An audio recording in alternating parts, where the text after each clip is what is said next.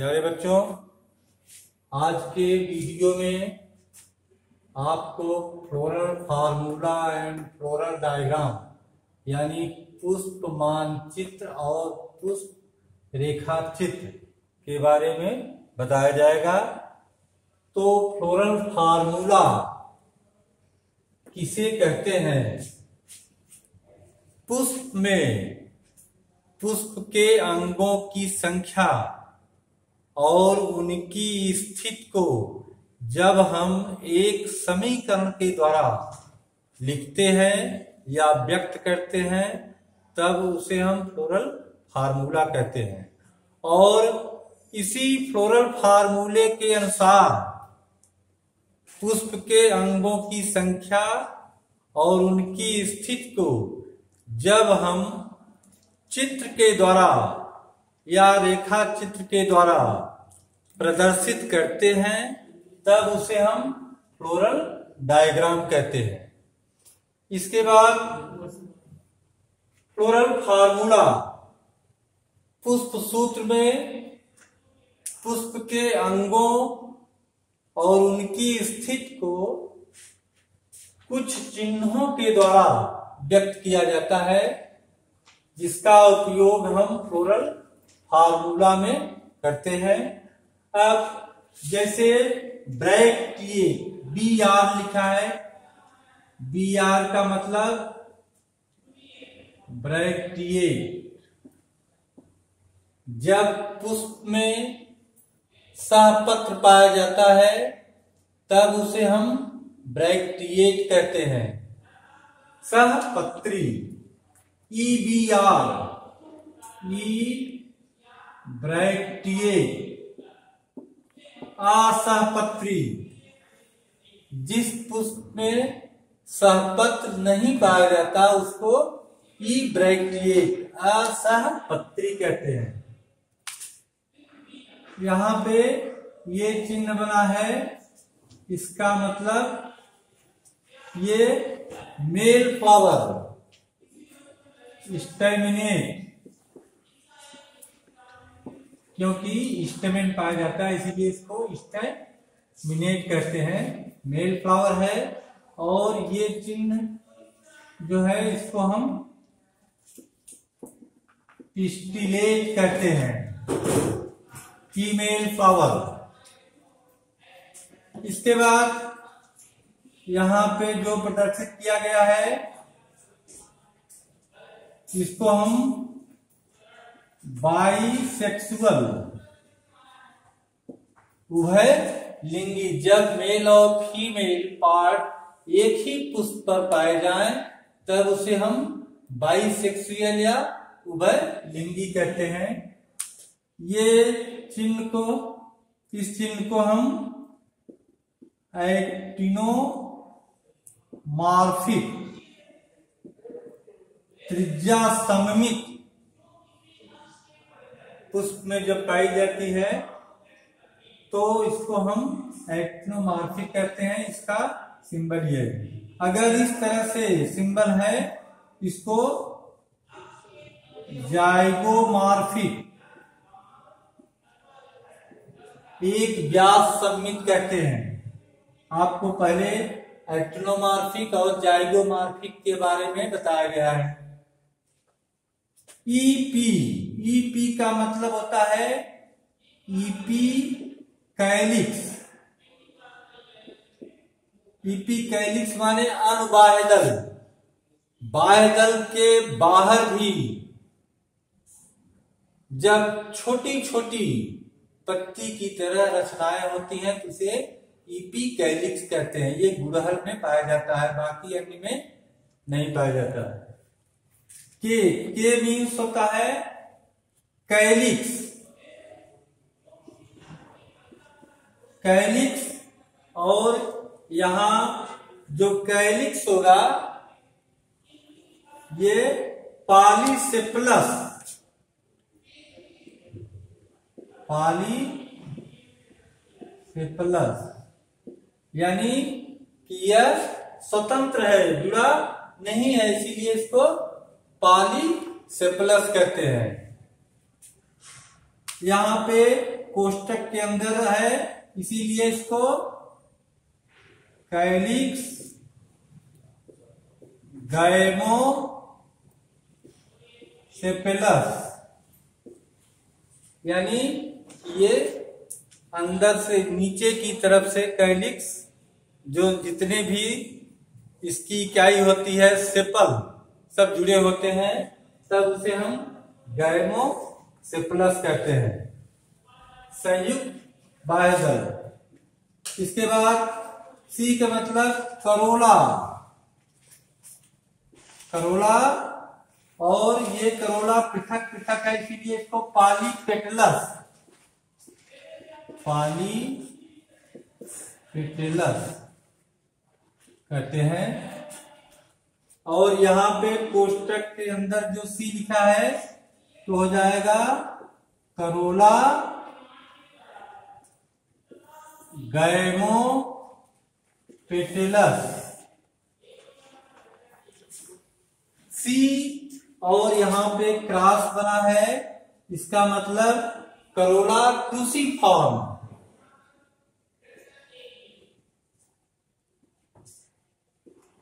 Cruciform cross रूपी। Cruciform corolla के बारे में आपको अगले वीडियो में बताया गया था। पी का मतलब होता है पेरियन।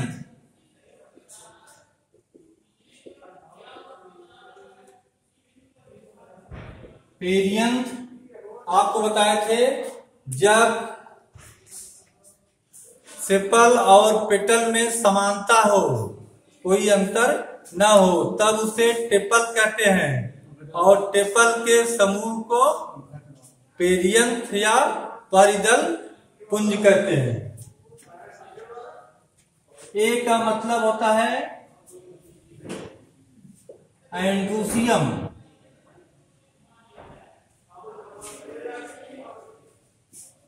एंडूसियम मीन्स ये जायान कहलाता है और ए को जब हम कोष्टक में कहते हैं बंद करते हैं। तब इसको हम एंडूसियम मोनाडेल्फस, एक संघी कहते हैं। इसके बाद ये चिन्ह है, जैसे जब दो अंडक हों और इस पर बीजांड लगे हों, तब इसको bicarpellary bilocular, gynoecium, with parietal placentation parietal placentation को व्यक्त करता है, जिसका वर्णन हम पहले कर चुके हैं। इसके बाद ये जो फिगर है bicarpellary bilocular gynoecium with basal placentation आधारी बीजान्यास को व्यक्त करता है। इसके बाद ये जो चिन्ह है इसको मदर एक्सिस कहते हैं। मदर एक्सिस का मतलब जो स्टेम है, इस पर पुष्प लगा है तो यह भाग मदर एक्सिस को दर्शाता है। ये इस तरह से सेपल को हम प्रदर्शित करते हैं। जब फ्लोरल डायग्राम बनाते हैं और ये petal petal with nectar gland जब नेक्टर ग्लैंड के साथ होता है, इस तरह से इसका हम वर्णन करते हैं। यदि पॉइंट है और इस तरह से चिन्ह है, तब इसको स्टेमिनोड या स्टराइल से व्यक्त करते हैं। और इसमें डाइथिकस स्टमेन, जब पराकोष में दो कोष्ठ हो और चार चैम्बर हो, तब उसे डाइथिकस कहते हैं। इस तरह से इसको व्यक्त करते हैं। इसके बाद मोनोथिकस एक कोष्ठी, या इसे हम रैनी फॉर्म या वृक्तक कहते हैं। ब्रिक या किडनी क्या? से धारण करता है। और ये गुड़हल में, कपास में, हाथ में ऐसा पाया जाता है। इसके बाद ये मोनोकार्पेलरी एक अंडपी gynoecium with marginal placentation. Margin से अगर प्लेसेंटा पर बीजान लगे होते हैं, तब उसे मार्जिनल प्रेजेंटेशन कहते हैं।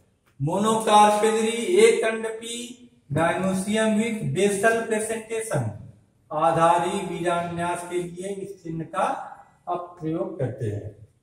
इसके बाद अब हम इन चिन्हों को याद करके कैसे हम फ्लोरल फार्मूला पुष्प मानचित्र का निर्माण करते हैं। जैसे बी आर का मतलब पुष्प में सहपत्र पाया जाता है ब्राइटिएट होता है।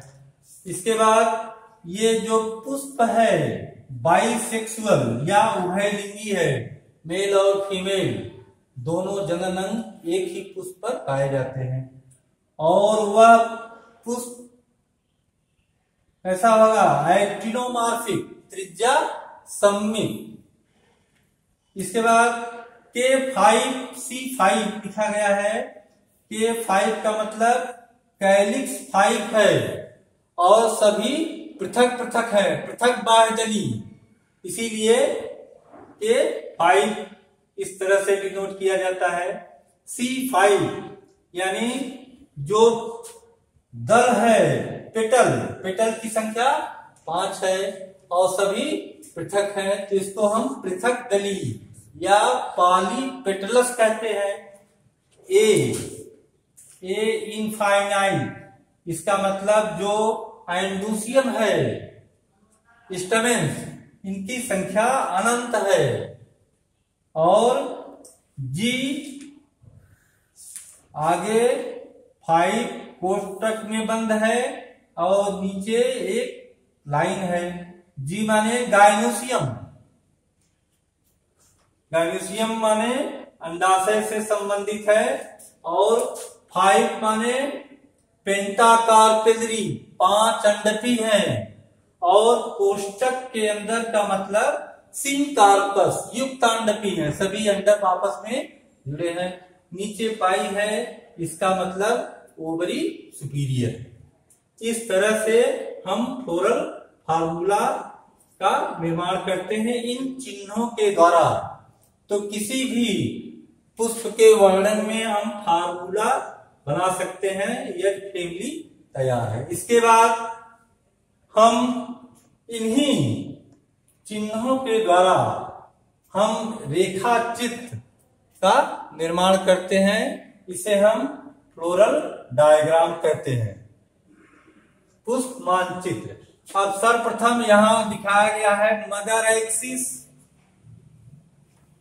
पौधे का वह भाग जहाँ पर पुष्प जुड़ा होता है उसे मदर एक्सिस कहते हैं। और बाहरी चक्र में यहाँ पर एक, दो, तीन, चार, पाँच पाँच बाह्य दल या सिपल दिखाए गए हैं।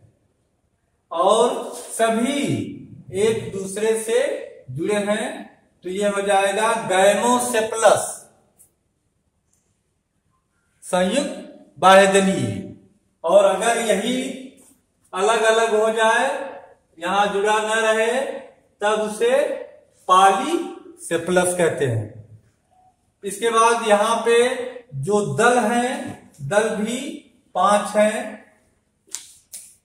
और जब दल पाँच है, यहाँ पे जैसे दिया गया है, दल की संख्या पाँच, और सभी अगर एक दूसरे से जुड़े हैं तब इसको गैमो गैमोपेटलस कहते हैं। गैमो पेटलस कहते हैं। युक्त बाह्यदली और अगर यही जुड़े न हो, तब इसे पालीपेटलस पालीपेटलस कहते हैं। इसके बाद इसमें जैसे स्टमेन की संख्या पाँच दिखाया गया है, और ये द्विकोष्ठी है, यानी डाई थीकस यानी प्रत्येक स्टेमेन के पराग कोष में दो कोष्ठ है, और प्रत्येक कोष्ठ में दो चैम्बर होते हैं, याद रखना। तो ये डाई थीकस का चिन्ह है। अंदर की ओर ये दिखाया गया है अंडाशय। अंडाशय में सेप्टम बना है और इस तरह से ये पेंटा कार्पेलरी है। कैसा है? पेंटा कार्पेलरी है। और नीचे की ओर यहाँ पे ब्रैक्ट दर्शाया गया है, सहपत्री। तो इस तरह से फैमिली को याद करके हम फ्लोरल फार्मूला बना सकते हैं। और फैमिली और फ्लोरल फार्मूला अगर तैयार है तो फ्लोरल डायग्राम बना सकते हैं। फैमिली के बारे में बताएँगे। अगले वीडियो में आपको फ्लावर पार्ट और इन्फ्लोरसेंस तथा कैसे फ्लोरल फार्मूला और फ्लोरल डायग्राम बनाया जाता है और उसके जो सिंबल्स थे, उनके बारे में बताया गया। तो आज आप ध्यान से इसको देखिए, कैसे फैमिली का वर्णन किया जाता है। तो आज फैमिली लिलियसी का हम वर्णन करेंगे। लिलिएसी फैमिली में एग्ज़ाम्पल एलियम, सेपा, ओनियन या प्याज और आता है लहसुन एलियम सटाइवम। ये दो लिलिएसी फैमिली में, इसके बाद पियाजी भी लिलिएसी फैमिली में आता है। तब इसका देखिए कैसे साठ टर्मिनोलॉजी के द्वारा, शब्दावलियों के द्वारा इसका वर्णन किया जाता है। और इसमें पहला है हैबिट हैबिट माने हैबिटाट वास स्थान हैबिट के बारे में तो एक कल्टीवेटेड हर्ब एक हर्ब है। कल्टीवेटेड यानी कृषि के द्वारा इसको उत्पन्न किया जाता है, खेती की जाती है, इसीलिए इसको कल्टीवेटेड हर्ब कहते हैं। साख है। रूट जो जड़ होती है जड़ इसमें एडवेंटिटियस अपस्थानिक या फाइब्रस रूट सिस्टम होता है। एडवेंटिटियस का मतलब होता है कि पौधे के किसी भी भाग से जब जड़ें निकलने लगती हैं, तब उसे एडवेंटिटियस कहते हैं। और फाइब्रस में क्या होता है? जब रेडकिल से प्राइमरी रूट निकलता है तो वो नष्ट हो जाता है। और फिर उसके स्थान से पतली पतली धागे जैसी रचनाएँ निकलती हैं, उसको हम फाइब्रस रूट कहते हैं। स्टेम अंडरग्राउंड भूमि के अंदर ट्यूनिकेटेड बल्ब बल्ब के रूप में पाया जाता है। लीफ रेडकिल रेडकिल मूलीज, इसका मतलब है क्योंकि बल्ब है भूमि के नीचे पाया जाता है, जड़ की तरह कह सकते हैं। इसीलिए इसको रेडकिल मूलीज कहते हैं। सिलिंड्रिकल बेलनाकार लीफ इसकी बेलनाकार जैसे राउंडेड है लीफ बेस सीडिंग हालो जो लीफ बेस होता है, एक आवरण की तरह काम करता है और अंदर की ओर रिक्त होता है जिसे हालो कहते हैं। इसकी लीफ अंदर की ओर हालो होती है, यानी रिक्त स्थान होते हैं। इसके बाद, इनफ्लोरसेंस, पुष्पक्रम। पुष्पक्रम अपेरेंटली टर्मिनल अम्बेल सीड्स पर अम्बेल छाता के आकार की रचना को प्रदर्शित करता है। यहाँ पे आप देखें तो इसका जो पुष्प है अम्ब्रेला की तरह है। इसकी तरह? अम्ब्रेला की तरह है, इसीलिए इसको इन्फ्लोरसेंस कैसा हो जाएगा? Umbel on special leafless card scape leafless रचना होती है, जिसे हम स्केप कहते हैं। इस तरह से रचना होती है, इसको स्केप कहते हैं। Two two three membranous bright झिल्ली जैसे सहपत्र, दो से तीन की संख्या में होते हैं। फिर हम फ्लावर का वर्णन करेंगे। फ्लावर कैसा है? ब्राइटिएट सहपत्री, इसमें सहपत्र पाया जाता है, जिसके कच्छ से पुष्प का निर्माण होता है, यानी उसके कच्छ से पुष्प निकलता है। पत्ती की जैसी रचना होती है या कई प्रकार का रूपांतरण भी होता है, उसे पेडिसिलेट यानी इसमें पुष्प वृंद पाया जाता है।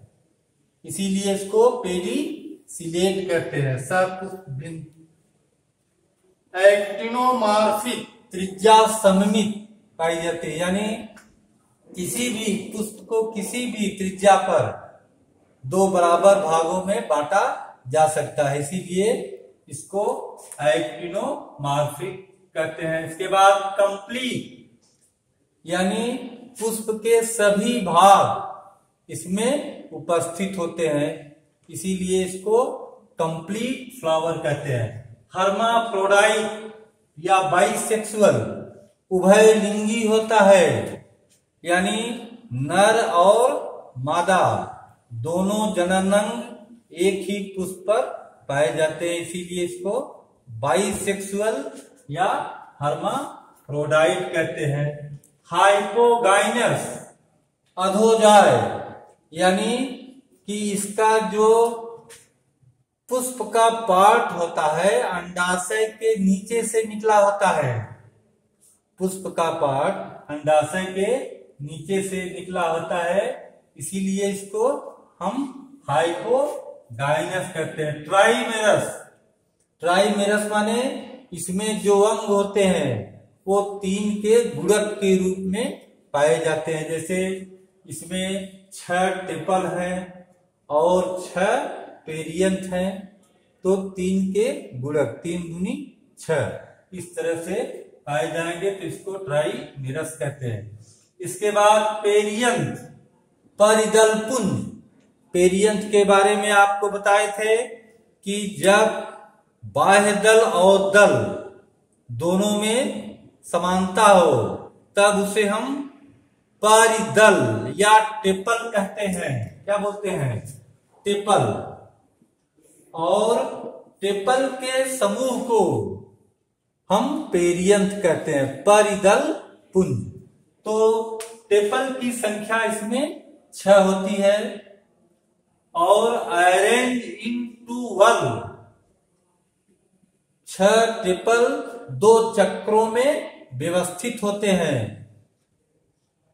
प्रत्येक चक्र में तीन होते हैं। इसके बाद गैमोफिल्लस यानी जो टेपल होते हैं। टेपल नीचे की ओर से आपस में जुड़े होते हैं। तब इसे हम गैमोफिल्लस कहते हैं। Imbricate aestivation. इम्ब्रिकेट एस्टिवेशन माने कोर छादी विन्यास। आपको बताए थे कि यहाँ पर कोर छादी विन्यास इस तरह से होता है। जब एक इकाई का छोर दूसरे इकाई के छोर को ढके रहता है।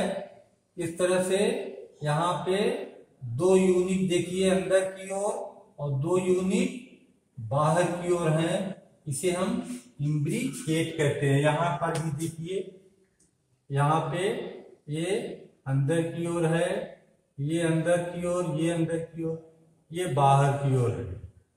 ठीक? इस तरह से जो एस्टिवेशन होता है, उसको हम इम्ब्रिकेट कहते हैं। इसके बाद एंडूसियम पुमंग। आपको बताए थे पहले कि पुमंग पुंकेसरों के समूह को पुमंग या एंडूसियम कहते हैं। तो यहाँ पे स्टमेन सिक्स, छह पुंकेसर होते हैं। इन टू वर्ग दो चक्रों में ऑफ़ थ्री ई प्रत्येक चक्र में तीन स्टेमेंस होते हैं। इपीफिलस इपीफिलस माने क्या होता है? जब जो टेपल होता है। टेपल यद एंडूसियम से जुड़ा है। यहाँ देख रहे हैं एंडूसियम से जब टेपल जुड़ा होता है, तब उसे ईपी फिल्लस कहते हैं। एंथर लॉन्ग, एंथर लंबे होते हैं, डाइथिकस, द्विकोष्ठी होते हैं, यानी पराग कोष में दो कोष्ठ होते हैं, प्रत्येक कोष्ठ में दो चैम्बर होते हैं। Dorsifixed and introrse dorsifixed लग्न। जब आपको बताए थे, जब पराग कोष से फिलामेंट, उसके आधार से पृष्ठभाग, डार्सल साइड से जुड़ा होता है। तब उसे हम डार्सी फिक्स कहते हैं। एंड इंट्रोज इंट्रोर्स माने जब पुष्प का भाग, जब पुष्प का भाग या पुष्प, ये पराकोष जब पुष्प के अंदर की ओर खुला हो, तब उसे इंट्रोर्स कहते हैं। आता है गायनोसियम जायांग जायांग आपको बताए थे कि अनेक कार्पेल के संयोजन, यानी अनेक कार्पेल जब मिलते हैं, तब उसे गायनूसियम कहते हैं।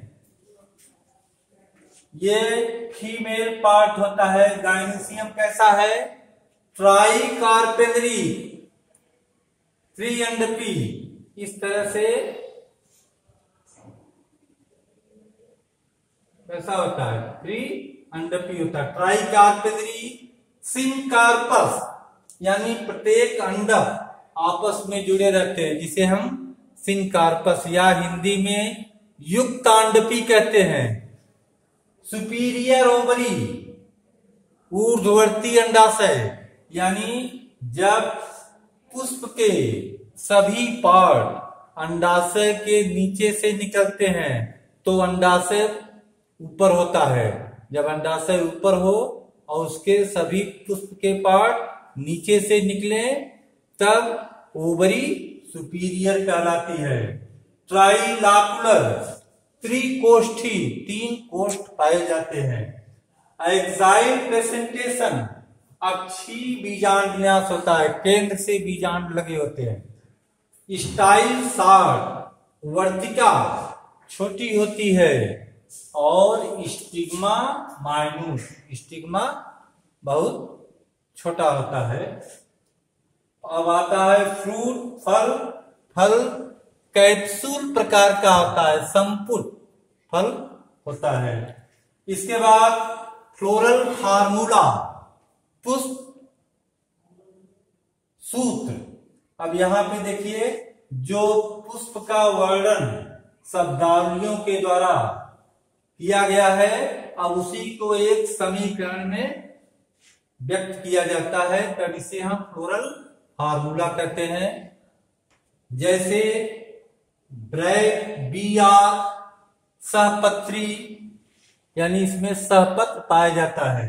यहाँ पर भी आप देखिए, लिखा है ब्रैकिए, सहपत्री। इसके बाद एक्टिनोमार्फिक त्रिज्या सममित, यानी पुष्प को किसी भी त्रिज्या पे काटा जाए तो दो बराबर भागों में बढ़ता है। तो इसको इस तरह से डिनोट किया जाता है। इसके बाद ये है बाइसेक्सुअल उभय लिंगी है, यानी मेल और फीमेल दोनों एक ही पुष्प पर पाए जाते हैं। इसके बाद है पेरियम क्योंकि इसमें जो सिंपल और पेटल है, दोनों में कोई अंतर नहीं होता। इसीलिए इसको टेपल कहते हैं। और टेपल के समूह को पेरियंट कहते हैं। इसीलिए यहाँ पे पी से इसको डिनोट किया गया है। और इस तरह से टेपल आपको बताया गया है। टेपल कितने होते हैं? सिक्स होते हैं। कितने होते हैं? सिक्स होते हैं। और इस तरह से यहाँ पे आप देखिए टेपल सिक्स। इन टू वर्ग ऑफ़ थ्री ईच यानी प्रत्येक में तीन तीन।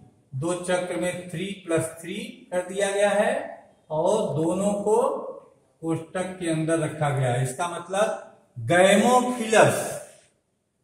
यानी दो आपस में यानी जुड़े हैं, इसीलिए इसको गैमोफिलस। इसके बाद जो एंड्रूसियम होता है छह होते हैं स्टमिन और दो चक्र में होते हैं थ्री प्लस थ्री यहाँ पे एंड्रूसियम दिया है, stamen six into one of three यानी थ्री प्लस थ्री और इपीफिलस यानी जो एंडूसियम है, वो ट्रिपल से या पेरियन से आधार से जुड़ा होता है, इसीलिए इसको इपीफिलस कहते हैं। इसके बाद गायनोसियम जायान तीन का मतलब है ट्राई कार्पेली सी एंड पी कोष्टक का मतलब है कि आपस में जुड़े हैं, इसको हम सिंह कार्पस कहते हैं युक्तांडपी और नीचे जो रेखा है इसका मतलब ओवरी सुपीरियर है। इस तरह से फ्लोरल फार्मूला को लिखा जाता है। अब हम फ्लोरल डायग्राम के बारे में बताएँगे। जैसे आपको पहले बताया गया था, ये ऊपर मदर एक्सिस है और जो टेपल है टेपल की संख्या सिक्स है। One two three four five six और टेपल में इंद्रिकेट एस्टिवेशन है, यानी कोर छादी इसके दोनों को अगल बगल के दोनों टेपल को ढके हैं, इस तरह से सभी। इसके भी दोनों इस तरह से ढके हुए हैं। तो इसमें इंद्रिकेट एस्टिवेशन होगा। फिर इसके बाद दो चक्र में है। ये अंदर में तीन और बाहरी चक्र में तीन होते हैं। और सभी एक दूसरे से जुड़े हैं। इसका मतलब गैमोफिलस इसके बाद इसमें तीन तीन की संख्या में दो चक्रों में स्टमेंस होते हैं। यहाँ पे दो चक्र में एक, दो, तीन और एक, दो, तीन। दो चक्रों में तीन तीन प्रत्येक चक्र में स्टमेंस होते हैं। और यह स्टमेंस इस ट्रिपल से जुड़े होते हैं, जो कि यहाँ आपको दिखाया गया है। इसके बाद गाइनोसियम ट्राइकार्पेलरी थ्री एंडपी वन टू थ्री तीन अंडप है और इस पर मध्य में एग्जाइल प्लेसेंटेशन और इस पर बीजान लगे होते हैं। नीचे की ओर ब्रैक्ट को दिखाया गया है सहपत्र को दिखाया गया है। ठीक? इस तरह से आप इसको तैयार कर सकते हैं। धन्यवाद।